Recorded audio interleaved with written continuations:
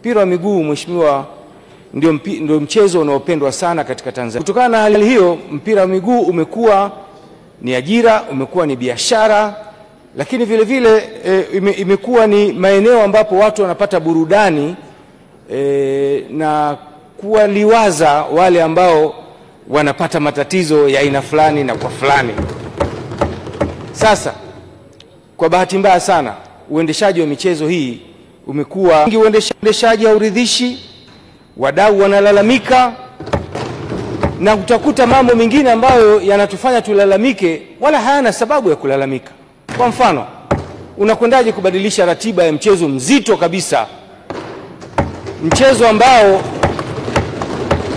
watu wamewekeza kwa hali na mali kwenye furaha zao, wengine mwisho mwisho wa siku.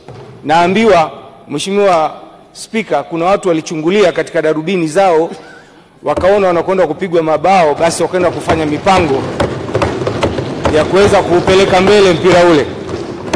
Sasa tarehe mpya inakuja, tuone watasogeza tena. Mheshimiwa Mwenyekiti, uh, Mheshimiwa uh, Spika, viongozi wa klabu wameovyo kabisa, hakuna standard. Leo huyu akifanya makosa yale yale anapona mwingine akifanya makosa yale yale anaadhibiwa kesho yake na adhabu za kutisha kabisa. Ukienda mbali zaidi, unakuta hata waamuzi wameathirika, wame, wame nao wamejiingiza katika mambo kama hayo, wanafanya mambo ya upendeleo wa dhahiri uwanjani, wapenzi yao wakijua kwamba watafungiwa mechi moja au mbili, alafu wanarudi tena uwanjani. Mambo kama haya yanaleta tabu, na kwa hali hiyo utakuta malalamiko yanapelekwa TFF leo, kesho yanapatiwa majibu, mengine yanakaa miezi miwili mpaka miezi saba. Standard iko wapi? Na hapa napata mashaka Mheshimiwa eh, eh, Spika, kwamba ndani ya chama chetu kile au federation hakuna uadilifu hata siku moja, na yanapeleka mpaka mwisho, yanafikia very personal. Mnakutana katika sherehe, kwa mfano kama juzi kulikuwa na sherehe ya uh, first division, watu wanapeana mikono, sijui ni jana, sijui watu wanapeana mikono, wengine wanakataa kutoa mikono. Wanatuonyesha nini? Kwa sababu tu ya mapenzi yao. Mpira wa miguu umekuwa tainted vibaya sana, Mheshimiwa Waziri, ili uweze kutuletea matumaini yanayotarajiwa. Na haya mambo yanayofanyika sasa hivi yanaathiri vile vile timu yetu ya taifa. Timu ya taifa ya Tanzania haina matumaini, haina matumaini kabisa. Utafikiri timu ya Uingereza bwana. Uingereza ndio nchi za kwanza duniani ambazo zimewahi kucheza international eh, competition mwaka 1872 wakicheza na, na Scotland wakatoka 0-0. Hebu fikiri timu kama hiyo imeshiriki na kupata ubingwa wa World Cup mara moja katika miaka yake yote, walipata mwaka 1966 lakini wana timu nzuri sana. Timu zao za binafsi zile moja moja, kina Chelsea, kina Manchester United, na City, wanacheza mpira mzuri sana. Kwa sababu gani? Wao wameamua kucommercialize ligi yao. Ligi yao ni nzuri sana katika dunia, wachezaji wote wazuri wanakimbilia kule, lakini timu yao ya taifa haionyeshi ule ukali wa ligi yao.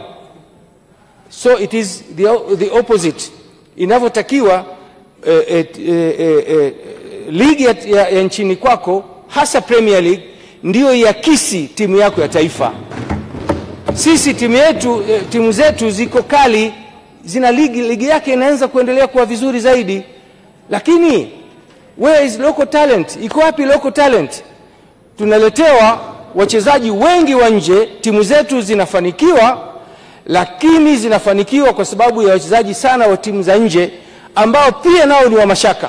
Kwa nini wa mashaka? Wewe ukiangalia, naomba nihitaje baadhi ya timu. Ukiangalia pale kwetu Young Africans kwa mfano, tunao wachezaji wa nje wengi tu, lakini hawaisaidii hawa Young Africans mpaka ingie kina Kaseke na kina nani ndio watuletee magoli. Simba Sports Club wachezaji lukuki wamo mle ndani, sijui wachezaji saba mpaka nane kwa, kwa timu moja wanaocheza uwanjani. Akiingia Boko ndo analeta maneno. Sasa Mheshimiwa Spika, pointi yangu ni nini?